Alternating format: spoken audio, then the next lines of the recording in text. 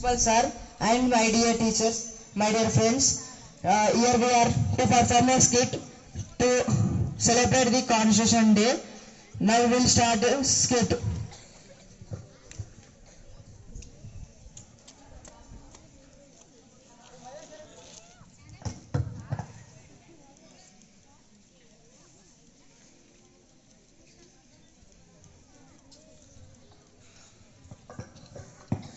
You know, today is something special. Then what is this? Constitution Day. Today we discuss about the Constitution Day.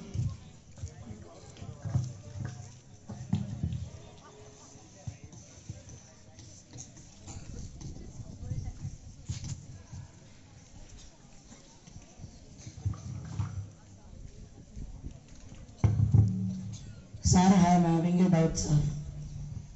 What is the meaning of constitution? Country has a set of rules, then is said to be Constitution.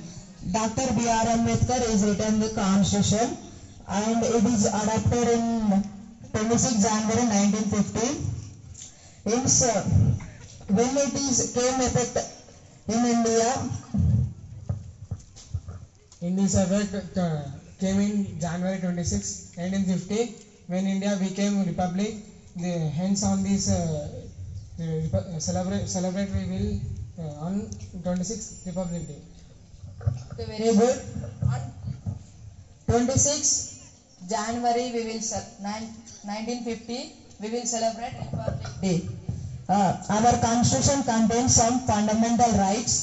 The, the fundamental right says it provides citizens, colors, gender, and the place of birth. Did you know what is the uh, fundamental rights? Then you say.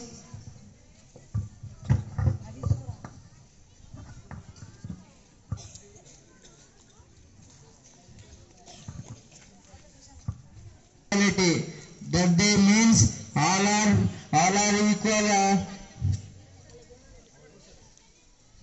right to equality. All the citizens are equal uh, before the uh, eyes of uh, eyes of law. Provision of discrimination,